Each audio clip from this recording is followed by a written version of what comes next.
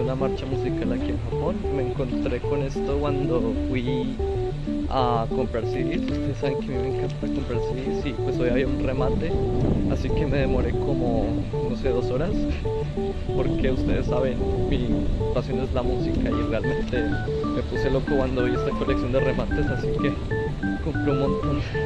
Y bueno, esto es más o menos para que ustedes vieran cómo es este tipo de festivales. Y nada, espero que les haya gustado y lo mismo de siempre. Suscríbanse, den like, comenten. Ustedes saben que hago videos con todo el tiempo. 最近肚子吗？